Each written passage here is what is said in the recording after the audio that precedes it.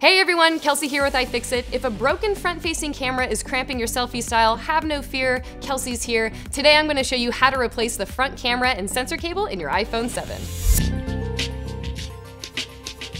For this repair, you're going to need a P2 Pentalobe screwdriver, an iOpener, a suction cup, a spudger, some iFixit opening picks, a tri-point Y000 screwdriver, some tweezers, and a Phillips 00 screwdriver.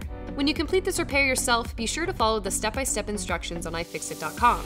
Not only will you find helpful photos and detailed instructions, you'll also be able to read comments and suggestions from other users who've already completed the repair, which can be super helpful, especially if it's your first DIY fix. Keep in mind that opening the iPhone's display will compromise its waterproof seals.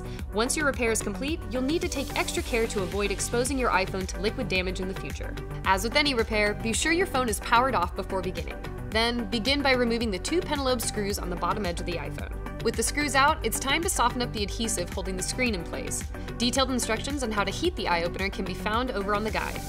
Attach a suction cup to the lower half of the display assembly, just above the home button. Be sure the suction cup does not overlap the home button as this will prevent a seal from forming between the suction cup and the front glass. Pull up on the suction cup to create a small gap between the display assembly and the rear case. Then grab your spudger and insert the flat end into the gap. Slide the spudger to the left along the lower edge of the iPhone. Now, slide the spudger up the left side of the iPhone, starting at the lower edge, and move towards the volume control buttons and silent switch. Now, do the same thing starting from the bottom right corner. Pull up on the suction cup to lift up the display, but be careful not to raise the display more than 10 degrees. Go ahead and remove the suction cup and slide an opening pick along the top edge of the iPhone between the rear case and the front panel. Pull the display assembly slightly away from the top edge of the phone to disengage the clips holding it to the rear case. Open the iPhone by swinging the display up from the left side, but don't try to fully separate it just yet. There are ribbon cables still connecting it to the logic board. Now we can use our driver to remove the four tri-point screws from the lower connector bracket. With the screws out of the way, we can lift away the bracket. Now grab your spudger and disconnect the battery connector and bend it away from the socket. Then use the flat end of the spudger to pry the two lower display connectors straight up from their sockets on the logic board. Moving to the top of the phone, remove the two Phillips screws securing the sensor assembly bracket. With the screws out of the way, you can remove the bracket. Grab your spudger and disconnect the front panel sensor assembly from its socket and remove the display assembly. Grab your driver and take out the three Phillips screws holding the earpiece speaker bracket in place. Then lift the front-facing camera out of the way to access the earpiece speaker.